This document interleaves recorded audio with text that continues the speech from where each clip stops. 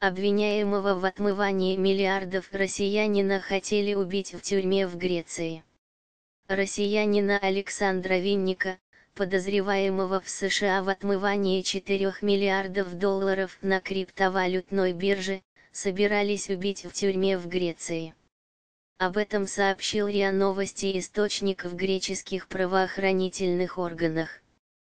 По его информации, мужчину собирались отравить в тюрьме Салоников, прибегнув к помощи криминальных элементов. О покушении узнали в начале года благодаря оперативной информации. О происходящем рассказали Виннику, ему запретили брать у посторонних людей какие-либо вещи, еду и воду. Ему также усилили охрану, в том числе для передвижения по тюрьме. Кроме того, мужчине нельзя общаться ни с кем, кроме очень узкого круга лиц.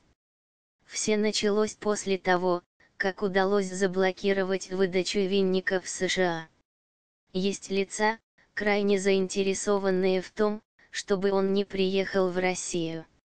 Заказчиком является неизвестное лицо из России, уточнил источник.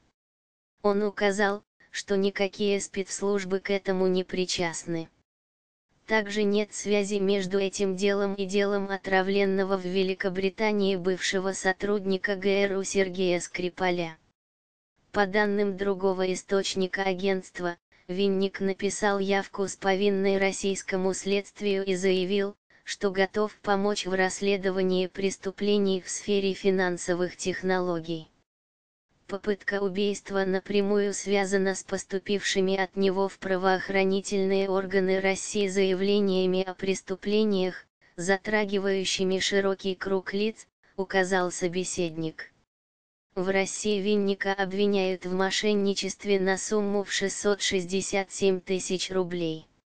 Осенью 2017 года греческий суд удовлетворил запрос о выдаче мужчины российской стороне. Винник был арестован в июле прошлого года, когда проводил отпуск на севере Греции. В гостиничном номере, где жил россиянин, обнаружили и изъяли ноутбуки, планшеты, мобильные телефоны, маршрутизатор, кредитные карты. В отчете правоохранительных органов говорилось, что россиянин с 2011 года руководил преступной группой, которая через сайт БЧ занималась легализацией доходов от преступной деятельности. Речь идет о заработках от компьютерных взломов, наркобизнеса, кражи личных данных и налоговых нарушений, которые конвертировались в криптовалюты. В США ему грозит до 55 лет тюрьмы и многомиллионный штраф. Больше важных новостей в TEL и GREM канале, Лента дня.